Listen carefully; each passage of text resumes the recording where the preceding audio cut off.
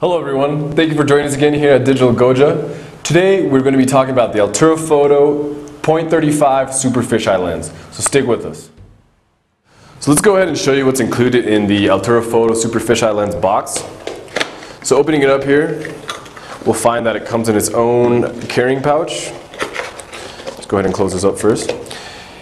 Opening up the pouch, we'll find the lens attachment itself, included with front lens cap and a back lens cap.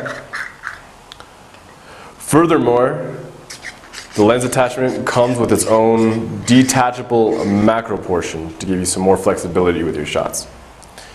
So now let's go ahead and talk about what the fisheye does and how to attach it to your camera. So fisheye lenses are considered ultra wide angle lenses. They create a very strong visual distortion in the image.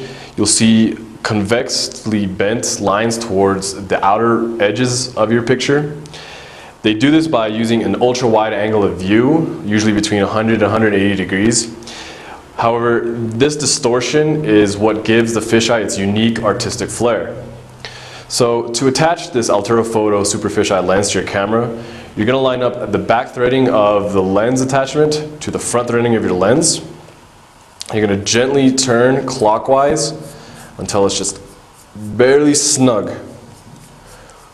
Once that's done, you're ready to start taking some pictures. That's it for today. Thank you for watching, and I hope this video was beneficial. But if you have any comments, questions, or tips, please leave them in the comment section below, and don't forget to subscribe. See you next time.